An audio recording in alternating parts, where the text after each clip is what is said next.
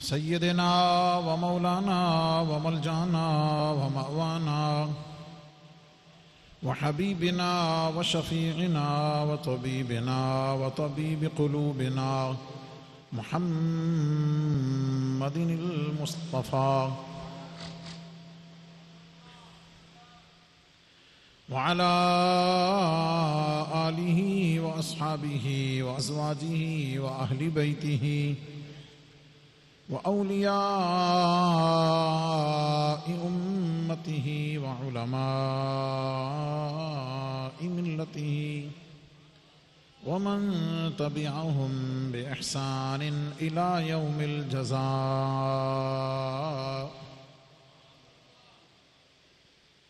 أما بعد فأعوذ بالله من الشيطان الرجيم. بسم الله الرحمن الرحيم.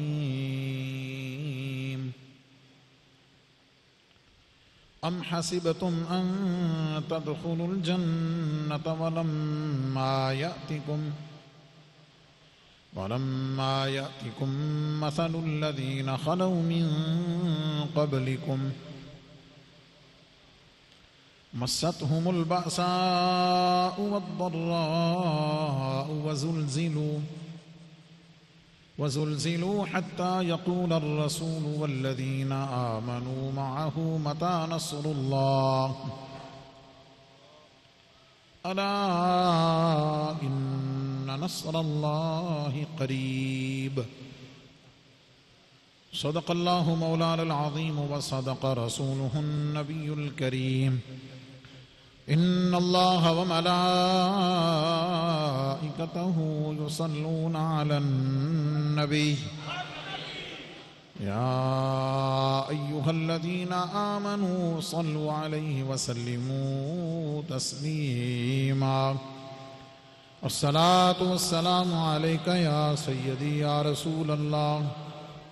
وعلى آلك وأصحابك يا سيدي يا حبيب الله. بآواز بلند پڑھ لیں الصلاة والسلام علیکہ یا سیدی یا رسول اللہ۔ الصلاة والسلام عليك يا خاتم النبيين وعلى آلك وأصحابك يا شفيع المذنبين الصلاة والسلام عليك يا امام الحرمين وعلى آلك وأصحابك يا جد الحسن والحسين. گنج بخش فیض عالم، مظہر نور خدا. نقصارا پیر کامل کاملارا رہنما. گنج بخش فیض عالم، مظہر نور خدا. نقصارا پیر کامل کاملارا رہنما۔ گنج بخشی آپ کی مشہور ہم پہ کر کرم۔ کر کرم، کروا کرم، دونوں جہاں میں رکھ شرم اللہ رب العزت کی حمد و ثناء اور اس کے محبوب کریم رعف الرحیم۔ صلی اللہ علیہ وسلم کی بارگاہ میں نذرانہ درود و سلام عرض کرنے کے بعد، جملہ سامعین و حاضرین، بزرگ و دوستو عزیزان جی قدر،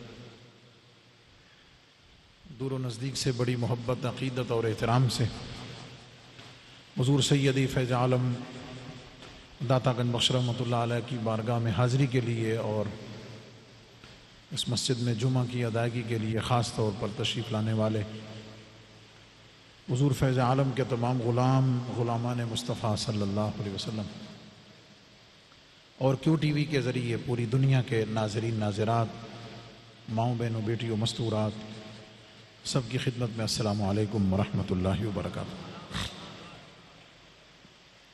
میں نے آج جمعۃ المبارک کے عنوان کے طور پر اسی آئے کریمہ کی تلاوت کی ہے۔ جو میں نے پچھلے جمعہ کی تھی۔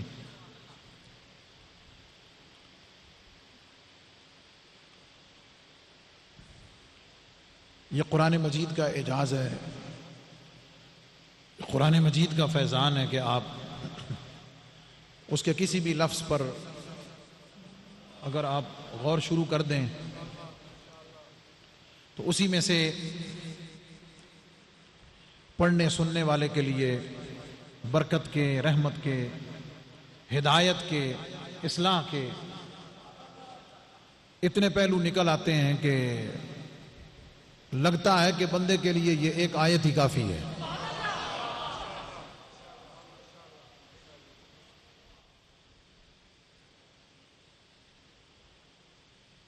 اور سچی بات تو یہی ہے سچی بات تو یہی ہے۔ حضرت عمر رضی اللہ تعالیٰ عنہ سے کچھ صحابہ نے پوچھا کہ حضور آپ قرآن کتنا پڑھتے ہیں؟ حضرت عمر رضی اللہ تعالی عنہ سے پوچھا کہ حضور آپ قرآن کتنا پڑھتے ہیں؟ آپ نے فرمایا میں سات دن میں ایک قرآن ختم کر دیتا ہوں۔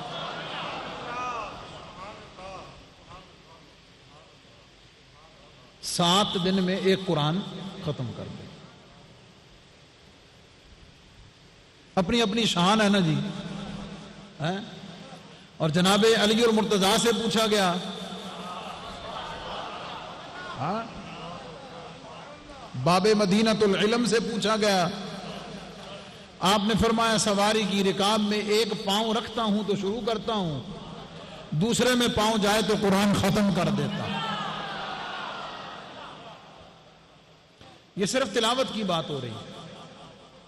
ساتھی، حضرت عمر رضی اللہ تعالیٰ عنہ کی بات سن کر حیران ہوئے۔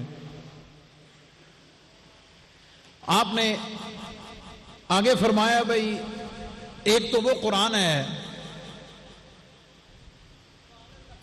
ایک قرآن وہ ہے کہ جو میں ہفتے میں ختم کرتا ہوں۔ تقریباً چار پارے روز کے۔ تقریباً۔ ایک قرآن وہ ہے کہ جو ہفتے میں ختم کرتا ہوں۔ اور آپ فرماتے ہیں کہ ایک قرآن اور بھی میں نے شروع کیا ہوا ہے۔ ایک قرآن کریم میں نے اور بھی شروع کیا ہوا ہے۔ اٹھارہ سال ہو گئے ہیں، ابھی دو رکو ہوئے ہیں۔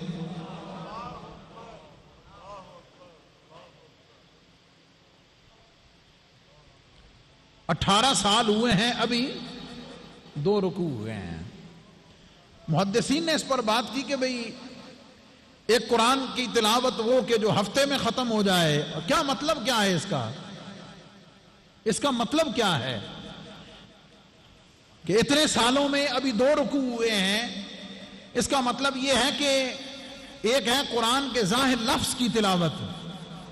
حافظوں کی طرح پڑھتے چلے جانا، اس کے ظاہر کی تلاوت کرتے چلے جانا۔ اور ایک ہے اس کے معنی، مطالب، تفسیر، اس کے اسرار و رموز۔ اور پھر اسرار و رموز میں غور کرنے والا بھی کون؟ ہے تو فرماتے ہیں کہ وہ ایک ایک آیت پر غور کرتے کرتے،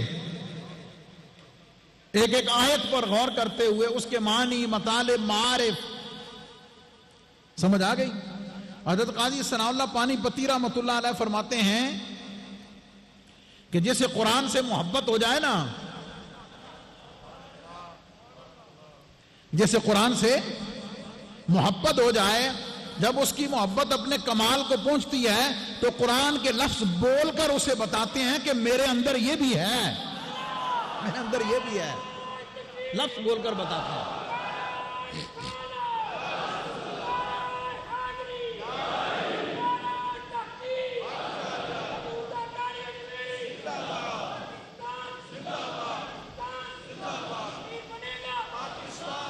خیر، یہ بات تو میں نے قرآن مجید سے محبت کرنے میں، اس کی تلاوت کرنے میں اور اس کے اندر غور کرنے میں، اس پر میں نے یہ بات کی۔ ترجمہ آئے کریمہ کا پھر سن لیں اور پھر کنٹینیو کرتے ہیں کہ تم نے ایسے ہی سمجھ لیا ہے کہ جنت میں بھاگے چلے جاؤ گے، کہ جنت میں داخل ہو جاؤ گے۔ حالانکہ تمہارے اوپر وہ مصیبتیں نہیں آئیں جو تم سے پہلی امتوں پر آئی ہیں۔ انہیں جب مصیبتیں اور تکالیف پہنچی تو اتنی شدت تھی ان میں، اس امتحان اور آزمائش میں اتنی شدت تھی کہ زلزلو وہ ہلا کے رکھ دیے گئے۔ اور اپنے امتیوں کی وہ کیفیت دیکھ کر مشکلات اور مسائب اور تکالیف کی شدت دیکھ کر جو ان کے رسول تھے، جو ان کے پیغمبر تھے، وہ بھی صبر نہ کر سکے اور انہیں بھی اللہ کی بارگاہ میں ہاتھ اٹھا کر کہنا پڑا۔ اور سارے ان کے ساتھ جو امتی تھے مدا نصر اللہ، مولا، ہم تو تیری رضا کے لیے، تیرے دین کے لیے، تیری اطاعت پر صبر کیے ہوئے ہیں۔ اور ہم تو مشکلات پہ صبر کر رہے ہیں، لیکن اب صبر کا دامن ہاتھ سے چھوٹا جاتا ہے۔ متا نصر اللہ مولا تیری مدد کب آئے گی؟ محبوب، ان کو فوراً بتا دو۔ اللہ ان نصر اللہ قریب۔ اللہ کی مدد اب بالکل پاس ہے، بالکل تمہارے نزدیک ہے، ڈرنے کی ضرورت ہے۔ اس میں میں نے تین موضوعات ڈسکس کرنے تھے۔ پہلا موضوع یہ تھا خوش فہمی خوش فہمی اس میں ایک دو باتیں اور میں عرض کرنا چاہتا ہوں تاکہ اس پر تھوڑی بات اور کلیئر ہو جائے۔ اور آپ کو یاد ہوگا میں نے اس کے ضمن میں ایمان کی تعریف کی تھی، خوف اور امید کے درمیان میں اپنے آپ کو رکھنا۔ کہ امال پر اتنا ناز بھی نہ کرے کہ اللہ کی رحمت سے غافل ہو جائے۔ اللہ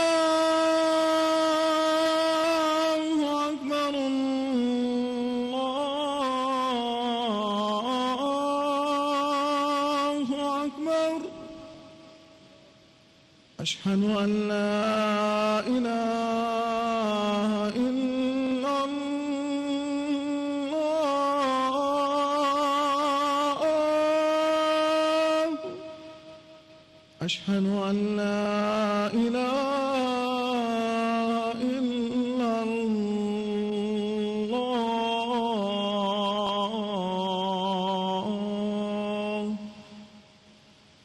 أشهد أن محمد رسول الله.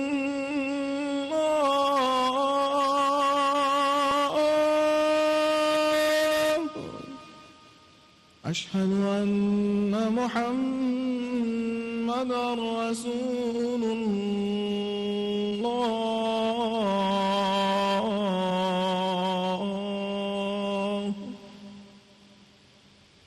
حي على الصلاة.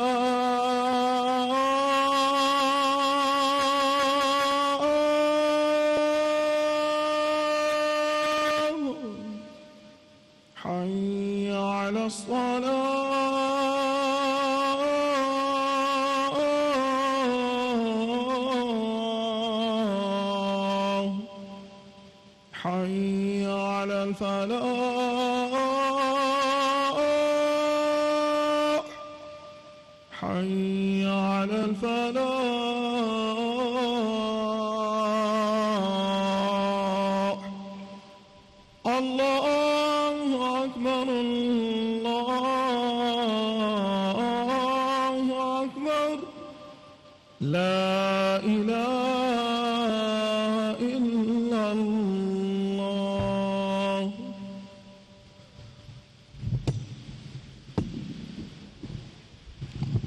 الحمد لله الحمد لله نحمده ونستعينه ونستغفره ونؤمن به ونتوكل عليه. ونعوذ بالله من شرور أنفسنا ومن سيئات أعمالنا. من يهده الله فلا مضل له ومن يضلله فلا هادي له. ونشهد أن لا إله إلا الله وحده لا شريك له. ونشهد أن سيدنا ومولانا محمدا عبده ورسوله. أما بعد فيا أيها المؤمنون رحمنا ورحمكم الله تعالى. أوصيكم ونفسي بتقوى الله عز وجل في السر والإعلان. وإن التقوى سنام در الإيمان. وزينوا قلوبكم بحب هذا النبي الكريم. عليه أكرم الصلاة وأتم التسليم. قال الله تبارك وتعالى في كلامه المجيد. إن الله وملائكته يصلون على النبي. يا أيها الذين آمنوا صلوا عليه وسلموا تسليما. اللهم صل على سيدنا ومولانا محمد وعلى آل سيدنا ومولانا محمد وبارك وسلم. بارك الله لنا ولكم في القرآن العظيم ونفعنا وإياكم بالآيات والذكر الحكيم. إنه تعالى ملك كريم جواد بر الرؤوف الرحيم.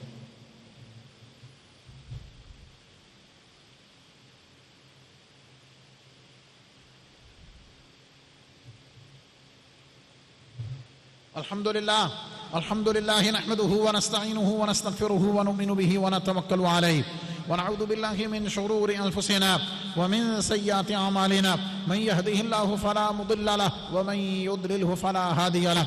ونشهد أن لا إله إلا الله وحده لا شريك له ونشهد أن سيدنا ومولانا محمدا عبده ورسوله. إن الله وملائكته يصلون على النبي. يا أيها الذين آمنوا صلوا عليه وسلموا تسليما. صلى الله تعالى عليه وعلى آله وأصحابه وبارك وسلم ابدا. لا سيما على أولهم بالتصديق. أمير المؤمنين أبي بكر الصديق رضي الله تعالى عنه وعلى آدل الأصحاب. أمير المؤمنين. عمر بن الخطاب رضي الله تعالى عنه. من القرآن أمير المؤمنين عثمان بن عفان رضي الله تعالى عنه. أسد الله الغالب أمير المؤمنين علي بن أبي طالب كرم الله تعالى وجهه الكريم وعلى ابن الكريمين السعيدين الشهيدين والقمرين المنيرين سيدينا أبي محمد الحسن وأبي عبد الله الحسين رضي الله تعالى عنهما. وعلى أمهما سيدة النساء فاطمة الزهراء رضي الله تعالى عنها وعلى سائر فنق الأنصار والمهاجرة وعلينا معهم يا أهل التقوى وأهل المغفرة.